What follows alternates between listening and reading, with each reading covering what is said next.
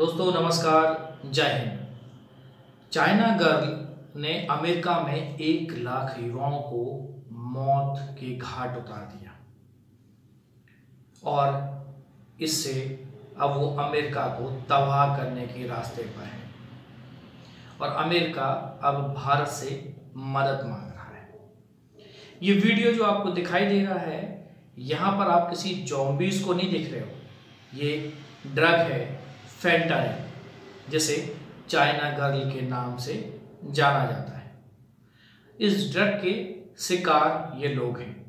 एक प्रकार का ये सिंथेटिक ओपिनॉइड है और एक ऐसा केमिकल है जो दिमाग के खास हिस्से पर काम करते हुए दर्द को मैनेज करने में मदद करता है।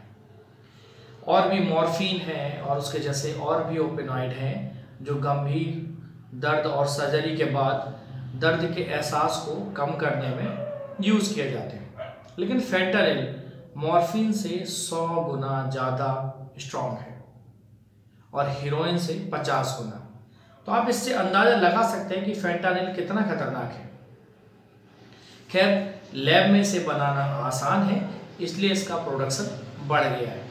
बच्चे डॉक्टर के फेक प्रिस्क्रिप्शन को बनाकर या ब्लैक में से खरीद रहे हैं। और डार्क वेब पर भी ये आसानी से मिल जाते हैं। अमेरिका ने चाइना के ऊपर ब्लेम लगाया है कि चाइना मैक्सिको के रास्ते से इसे भेज रहा है, लेकिन चाइना ने इसको डिनाई किया है। और चाइना ने यह कहा है कि यूएसए ये मेड प्रॉब्लम है और यूएसए में ही इसको बनाया जा रहा है और ये वहीं पर सप्लाई भी हो रहा है।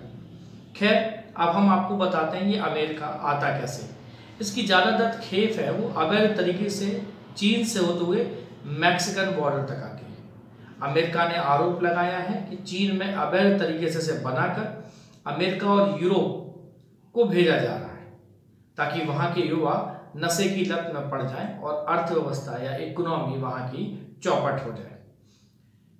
एक इतिहास की बात करते हैं, आपको अफीम युद्ध याद होगा, जब ब्रिटेन ने चीन को चाय के बदले नशा देने की शुरुआत की थी। 1839 में चीनी राजा थे डाओ गांग ने इस पर उस समय रोक लगा दी थी और तब ब्रिटेन ने जो युद्ध किया था, उसे अफीम वॉर कहते हैं। यूएसए में फेंटनिल फ़िलहाल दो रूपों में, लिक्विड और पाउडर फॉर्म फॉर्म में मिल रहा है। इसकी पेन के टिप की बराबर की मात्रा भी जानलेवा है और ओवरडोज से कुछ दिन नहीं लगते और कुछ घंटों नहीं, बल्कि कुछ मिनटों में ही मौत हो जाती है। इसका कोई स्वाद नहीं है, इसकी कोई स्मेल नहीं है। और ये सस्ता भी है। इसलिए यूएसए में लास्ट ईयर एक लाख से ज़्यादा लोगों को ओवरडोज के कारण डेथ हो गई थी।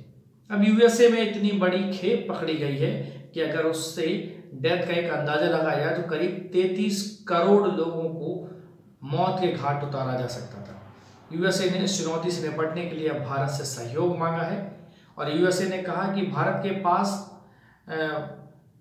बड़ी फार्मास्यूटिकल और केमिकल इंडस्ट्री है। इसके अलावा दोनों देश दोनों देश जो ड्रग सप्लाई के रूट और नेटवर्किंग को बाधित करने में काम करेंगे।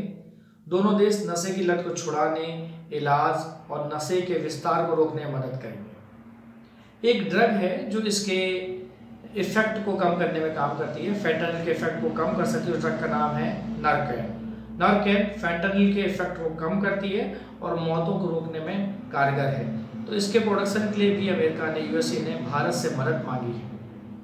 खैर, जो सबसे इम्पोर्टेंट काम है कि अमेरिका को क्या करना चाहिए?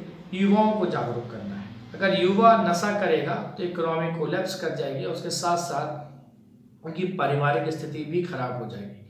तो जो सबसे इम्पोर्टेंट काम है, युवाओं को जागरूक करिए और विश्वविद्यालय स्तर पर या फिर स्कूल के स्तर पर ड्रग्स के साइड इफ़ेक्ट्स और ड्रग्स किस प्रकार से हमारे शरीर को नुकसान पहुँचा सकती है, हमारी इकोनॉमी को नुकसान पहुंचाती है, हमारे घर की अर्थव्यवस्था को चौपट करने के साथ साथ देश की अर्थव्यवस्था को भी चौपट कर सकती है। तो उम्मीद करते हैं कि फेंटनिल के बारे में जानकारी आपको काफ़ी मदद पहुंचाएगी और आपके ज्ञान में इजाफा करेगी। नमस्कार, जय हिंद, बने रहिए हमारे साथ।